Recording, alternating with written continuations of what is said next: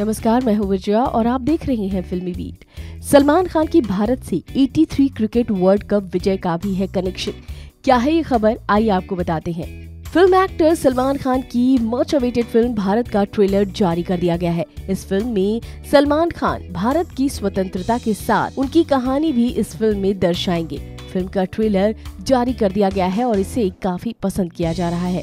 Sources की माने तो फ़िल्म में 70 वर्षों की भारत, यानी कि सलमान खान की यात्रा के दौरान विश्व कप क्रिकेट में वेस्ट इंडीज को हराने की कहानी भी बताई जाएगी। गौरतलब है कि सन उन्नीस सौ तिरासी में कपिल देव की अगवानी में भारतीय क्रिकेट टीम ने वेस्ट इंडीज को तीसरी बार विश्व कप जीतने से रोक दिया था। इस विषय पर कबीर खान रणवीर सिंह को लेकर एक फ़िल्म भी बना रही है, जिसका नाम 83 रखा गया है। फ़िल्म भारत में उस विश्व कप विजय का भी ज़िक्र होगा। इतना ही नहीं, सोर्सेस की माने तो फ़िल्म में भारत के वैश्वीकरण के लिए दरवाजे खोलने की गाथा को भी दर्शाया जाएगा।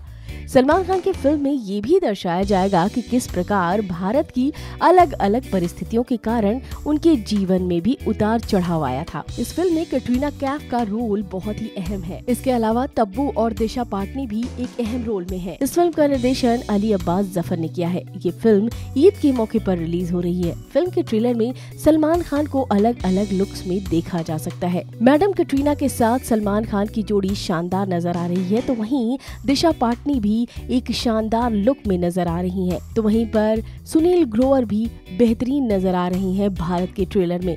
कुल मिलाकर भारत का ट्रेलर बहुत ही शानदार है। भारत के ट्रेलर को देखकर लोगों को फ़िल्म का बेसब्री से इंतज़ार है। फ़िलहाल भारत से जुड़ी हुई ये एक नई खबर कि इसका कनेक्शन 83 वर्ल्ड कप क्रिकेट से है।